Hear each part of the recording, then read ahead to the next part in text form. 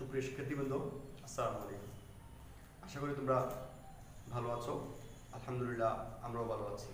এই করোনা- করোনাকালীন সময়ে আমরা চেষ্টা করছি তোমাদের ক্লাস নেওয়ার জন্য, তোমাদের লেখাপড়া যাতে ব্যাহত না হয় সেই জন্য আমরা চেষ্টা করছি তোমাদের পড়াশোনাটা ঠিকমতো চালিয়ে দেওয়ার সহায়তা করার জন্য। আজকে আমি যে ক্লাসটা তোমাদেরকে উপস্থাপন করব এখান থেকে তোমরা যদি কোনো সমস্যা তোমাদের থাকে, তাহলে তোমরা কমেন্টস করতে পারো। কমেন্টস করলে আমরা এটা সলভ করব। তাহলে আমরা দেখি আজকে, আজকের ক্লাসটা দেখি। আর তোমরা তোমাদের বইয়ের পৃষ্ঠা নাম্বার পঁয়ষট্টি বের করো। সুপ্রিয় শিক্ষার্থীবৃন্দ, তোমরা নিশ্চয়ই বই খাতা নিয়ে আমার সাথে আছো। তোমরা স্ক্রিনে দেখতে পাচ্ছ আমার পরিচিতি। আমি আমার পরিচিতিটা দিয়ে দিচ্ছি। আমি আব্দুল মান্নান, সহকারী শিক্ষক, সরকারি জীবনী উচ্চ বিদ্যালয়, সুনামগঞ্জ।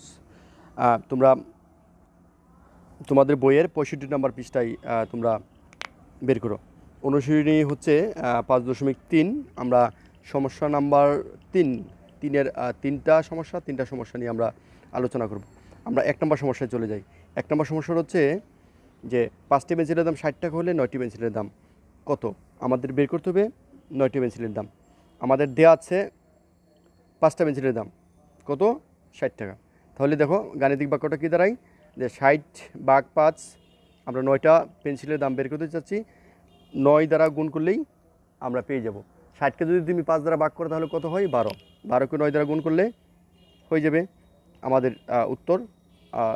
বারোকে তুমি নয় দ্বারা গুণ করলে পাও, পাওয়া যাবে একশো আট। আমাদের উত্তর হচ্ছে একশো আট। আমি বলে বলে রাখছি যে আসলে এই অঙ্কটা অন্যভাবে করা যায়, তবে তুমি যদি গণি- গাণিতিক বাক্য দিয়ে করো তাহলে অঙ্কটা সহজেই করতে পারবে আর কি। আমরা পরবর্তী দুই নম্বর সমস্যায় চলে যাচ্ছি। দুই নম্বর সমস্যাটা হচ্ছে যে বাজক বাকশেষের তিন গুণ এবং বাকশেষ বাজকের চার গুণ। বাক্সে যদি দুই হয় তাহলে বাহ্য বাহ্য এখানে আমাদের দেয়া আছে কিন্তু বাকশেষ। বাকশেষ দুই দেওয়া আছে। তাহলে আমাদের বাহ্য বের করতে হবে। বাহ্য বের করতে হলে তোমরা নিশ্চয়ই জানো আহ, বাহ্যর একটা সূত্র আছে যে আমরা জানি বাহ্য সমান বাজক গুণ বাকফল যুগ, বাকশেষ। এখানে দেখো, দেওয়া আছে বাকশেষ, দেওয়া আছে দুই। এখন বাচক কত? বাচক হচ্ছে বাকশেষের তিন গুণ। তাহলে দুইকে তিন দ্বারা গুণ করলে আমরা বাচক পেয়ে যাব। আর বাকফল হচ্ছে ভাজকের চার গুণ। তা আমরা ভাজক পেয়েছি দুই পূরণ তিন, এটাকে চার দ্বারা গুণ করলে পেয়ে যাব আমরা সাথে বাক, বাকশেষ বাকশেষ দুই। তো কত হলো? দুই পূরণ তিন, আর সমান সমান আমরা পেলাম ছয়। আবার দুই পূরণ তিনকে আমরা চার দ্বারা গুণ করলে হয় যুগ দুই। দেখো কত হয়? চারশো চব্বিশ। তো ছয় পূরণ চব্বিশ সমান যুগ দুই, কত হয়? ছয়কে দুই যদি তুমি চব্বিশ দ্বারা গুণ করো, তাহলে কত হয়? একশো চুয়াল্লিশ। একশো চুয়াল্লিশের সাথে তুমি দুই যোগ করলে আমরা পেয়ে যাব একশো ছেচল্লিশ। আমরা বাহ্য পেয়েছি একশো ছিচল্লিশ। আমাদের এটার সমাধান হয়ে গেল। আমরা তিন নম্বর মানে সমা- সমস্যায় চলে যাচ্ছি। তিন নম্বর সমস্যা হচ্ছে, জনাব সম্পার মাসিক বেতন সাত হাজার পাঁচশো টাকা। প্রতি মাসে তার খরচ হয় সাত হাজার দুইশো পঞ্চাশ টাকা। তিনি এক বছরে কত টাকা জমা করতে পারবেন? তো চলো আমরা গাণিতিক ব্যাখ্যে যাই। এখানে দেওয়া আছে, সম্পার মাসিক আয় হচ্ছে সাত হাজার পাঁচশো টাকা এবং মাসিক ব্যয় হচ্ছে সাত হাজার দুশো পঞ্চাশ টাকা। বাদ দিলে কত হয়? দুশো পঞ্চাশ টাকা। আমরা চাচ্ছি এক বছরের মানে বারো মাসের। তো দুশো পঞ্চাশকে তুমি বারো দ্বারা গুণ করলে আমরা পেয়ে যাব আমাদের ফলাফল, আমরা পেয়ে গেছি। তোমরা পাশাপাশি রাফ করতে পারো, আমি রাফটা করি নাই তোমরা পাশে রাফ করতে পারো। দুশো পঞ্চাশকে বারো দ্বারা গুণ করলে হয় তিন হাজার, তোমরা রাফ করে দেখাতে পারো।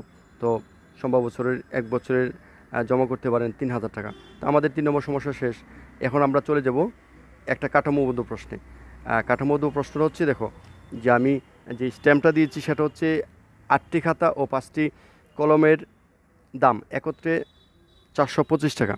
একটি কলমের দাম পাঁচ টাকা। তো দেখো, সমস্যাগুলো হচ্ছে এক নাম্বার, ক নাম্বার, পাঁচটি কলমের দাম কত, আটটি খাতার দাম কত, একটি খাতার দাম কত, এক হাজার টাকায় কতটা খাতা পাওয়া যাবে? তো দেখো, আমরা ক নাম্বার সমস্যাটা সমাধান করি।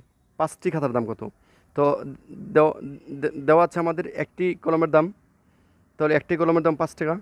পাঁচটি কলমের দাম পাঁচ পূরণ পাঁচ সমান পঁচিশ টাকা, একেবারে সহজ সমাধান। আমাদের ক নম্বর সম- সমস্যা শেষ। আমরা খ নাম্বারে চলে যাচ্ছি। খ নম্বর হচ্ছে আটটি খাতার দাম কত? দেখো, আমাদের প্রথমে আমরা পেয়েছিলাম আটটি খাতা ও পাঁচটি কলমের দাম। একত্রে পেয়েছিলাম চারশো পঁচিশ টাকা। তো এখান থেকে আমরা পাঁচটি খাতার দাম, কলমের দাম পেয়ে গেছি। তা পাঁচটি কলমের দাম, পাঁচটি কলমের দাম বাদ দিই থাকবে আটটি খাতার দাম।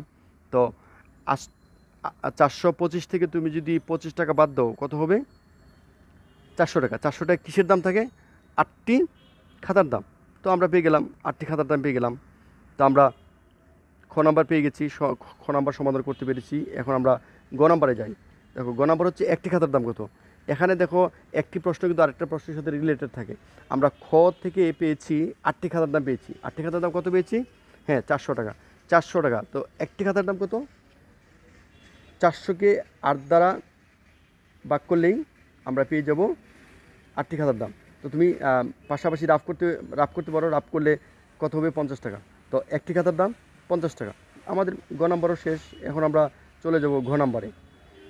তো আমি আগেই বলেছিলাম যে একটি প্রশ্ন, আরেকটা প্রশ্নের সাথে রিলেটেড তো সেক্ষেত্রে দেখো, আমরা গ থেকে পেয়েছিলাম যে একটি খাতাতে পেয়েছি। কত পেয়েছিলাম?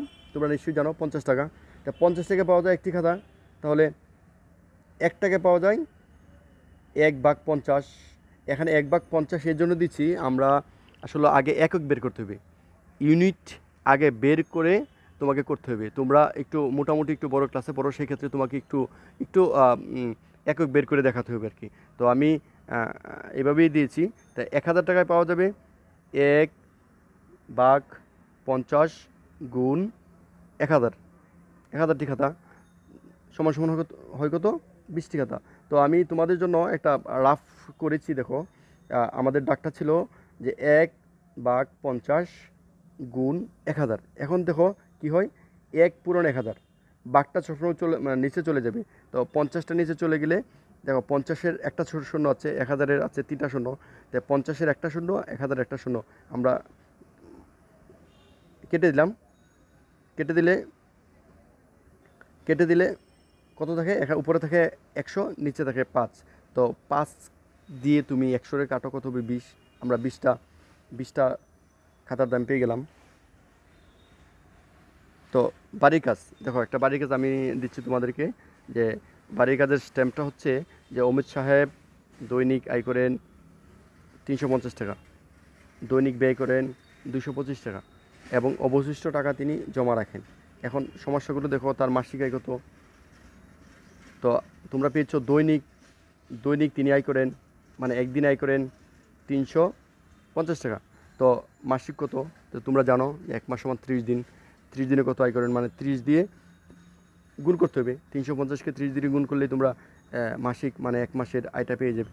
আর এক মাসের আয় বের করতে বলে সেম নিয়মে তুমি বের করতে পারবে মাসিক ব্যয়। মাসিক ব্যয় কত? প্রতিদিন, প্রতি- মানে প্রতিদিনের ব্যয় দেখো দুশো পঞ্চাশ টাকা। তো দু, একদিনে তিনি ব্যয় করেন দুশো পঞ্চাশ টাকা। ত্রিশ দিনে মানে এক মাস সমান ত্রিশ দিন। ত্রিশ দিনে তিনি ব্যয় করেন দুশো পঁচিশ গুণ ত্রিশ। তুমি রাফ করতে পারো পাশাপাশি রাফ করে রাফ করে করলে তোমার অঙ্ক ভুল হওয়ার সম্ভাবনা খুবই কম থাকে। তাহলে তুমি ব্যয় পেয়ে যাবে। তাহলে দেখো গ নাম্বার গ নাম্বারটা হচ্ছে কি? যে মাসিক আয় ও ব্যয়ের পার্থক্য। তুমি ক এবং খ নাম্বারও, ক নাম্বারে পেয়েছ মাসিক আয়, খ নাম্বারে পেয়েছ মাসিক ব্যয়। তো এই আয় ব্যয়টা পার্থক্য মানে বিয়োগ করলেই আয় থেকে ব্যয়টা বাদ দিলেই তুমি পার্থক্য পেয়ে যাবে। পার্থক্যটা হচ্ছে জমা। যেটা পার্থক্য থাকবে মানে তিনি যে টাকাটা খরচ করেছেন যে টাকাটা আয় করেছেন এবং যে টাকাটা খরচ করেছেন, এটা বাদ দিলেই বাকি টাকাটাই হচ্ছে উনি জমা রাখেন। তো গ নাম্বার গ নাম্বার হচ্ছে তিনি এক বছরে কত টাকা জমা করতে পারেন? পার্থক্য যেটা তোমরা পেয়েছ, সেটা হচ্ছে কিন্তু মাসে, এক মাসে এক মাসে জমা করতে পারেন। এক মাসে জমা করতে পারেন যত টাকা তোমরা পাও। তো আমরা জানি এক বছর সমান বারো মাস, বারো মাসে তুমি বারো দিয়ে তুমি গুণ করবে এই জমা, এক মাসে জমা যত করে, যত হয় সেটাকে তুমি গুণ করে পেয়ে যাবে। তোমরা এতক্ষণ আমার স্লাইড শোর ক্লাসটা দেখেছ। তোমরা নিশ্চয়ই সবগুলো বিষয় বুঝেছ। আমি একটা হোমওয়ার্ক দিয়েছি তোমরা সেটা করবে। আমি একটু একটু ইঙ্গিত দিয়েছি সে অনুযায়ী তোমরা করবে। তারপর যদি তোমরা না পারো, তাহলে আমরা পরবর্তী ক্লাসে সেটার উত্তর দিব। সবাই ভালো থাকবে। পরবর্তী ক্লাস দেখার আমন্ত্রণ জানাচ্ছি। সবাইকে ধন্যবাদ। আসসালামু আলাইকুম।